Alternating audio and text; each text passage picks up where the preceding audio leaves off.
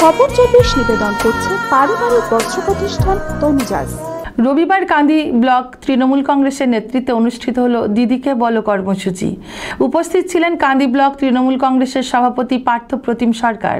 কান্দি পঞ্চায়েত সমিতির কৃষি কর্মদক্ষ গৌরব চ্যাটার্জি সহ অন্যান্য তৃণমূল নেতৃত্ব। কান্দির সার্বিক উন্নয়নের লক্ষ্যে মুখ্যমন্ত্রী মমতা বন্দ্যোপাধ্যায়ের নির্দেশক্রমে কান্দির প্রতিটি মানুষের কাছে পৌঁছাবে দলীয় নেতৃত্বরা বলে জানায় কান্দি ব্লক তৃণমূল কংগ্রেসের সভাপতি পার্থ প্রতিম সরকার। কান্দি ব্লকের সার্বিক উন্নয়নের লক্ষ্যে মুখ্যমন্ত্রী মমতা বন্দ্যোপাধ্যায়ের নির্দেশক্রমে দিদিকে বলর প্রচার কর্মসূচি শুরু হলো কান্দিতে। রবিবার সাংবাদিক বৈঠকের মাধ্যমে সে কথাই জানান, কান্দি ব্লক তৃণমূল কংগ্রেসের সভাপতি পার্থ প্রতিম সরকার। ব্লকের সকল দলীয় নেতৃত্বদের নিয়ে এদিন একটি আলোচনা সভা অনুষ্ঠিত হয়। এই সভায় আগামী দিনে কীভাবে ব্লকের প্রতিটি প্রান্তে দিদিকে বলর প্রচারাভিযান অনুষ্ঠিত হবে সে বিষয়ে আলোচনা করা হয়।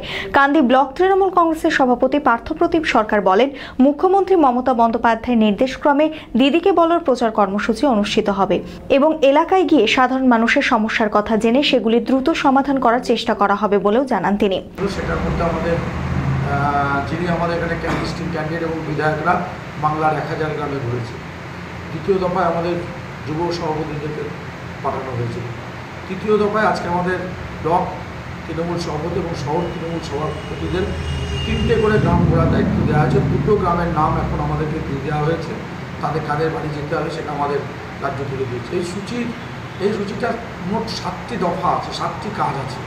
সাতটি কাজের মাধ্যমে এই কাজটা করতে হবে। প্রথম দফা প্রেস দ্বিতীয় দফা সেই গ্রামে পৌঁছে গ্রামের নেতৃত্বদের সাথে ডেকে একটা ঘরোয়া বৈঠক।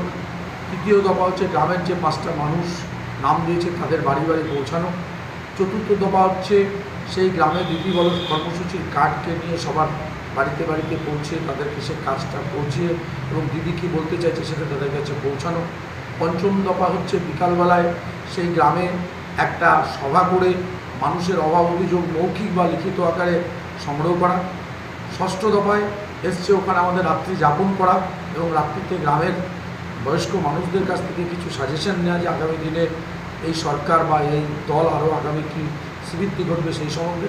এবং সপ্তম দফা হচ্ছে সকালবেলায় ঘুম থেকে উঠে চায়ের দোকানে বসে কথা কথা বলে মানুষের সাথে একটু দেখা করে ওখানে আমাদের দলীয় পতাকা উত্তোলন করে আমরা গ্রামের মানুষকে ধন্যবাদ দিয়ে গ্রাম থেকে বেরিয়ে। পাশাপাশি এদিন কান্দি টাউন তৃণমূল কংগ্রেসের উদ্যোগে দিদিকে বলো কর্মসূচি অনুষ্ঠিত হয়। কান্দি পৌরসভা তেরো নম্বর ওয়ার্ডে দিদিকে বলর প্রচার করেন কান্দি টাউন তৃণমূল কংগ্রেস নেতৃত্ব। সাধারণ মানুষের হাতে এদিন দিদিকে বলর কার্ড তুলে দেওয়া হয়।